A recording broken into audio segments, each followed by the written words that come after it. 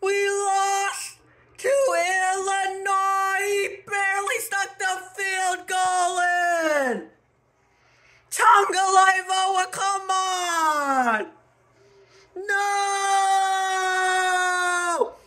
Huge Maryland fan here! Stupid Locksley and Tagovailoa, we gotta beat Illinois! No! No! I don't even know what to say. I thought he was gonna miss. He missed 50 times earlier in the game. He split those uprights barely. And I need to split my fridge open. I'm gonna split open a nice cold beer to help ease the pain. Oh, so close to missing.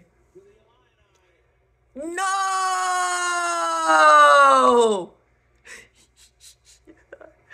I don't even know, folks. Subscribe and hit the bell, bro. Look at Locksley's face, man.